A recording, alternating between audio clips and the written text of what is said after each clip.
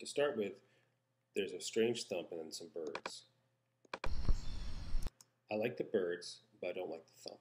So I'm going to zoom in the part I don't like, take the selection tool, grab the thump, and then do an edit, cut, or backspace to get rid of the thumb. Now I play just birds. Now I want to grab a half second of bird and make it longer. So I'm selecting the bird part that I like. I'm going to go copy. I'm going to click where I want to insert the sound. And we edit, paste.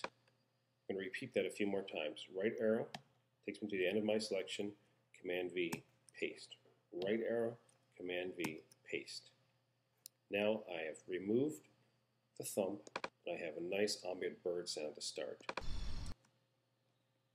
I can go back to the beginning of this track, press play. Very good, I have lots of birds.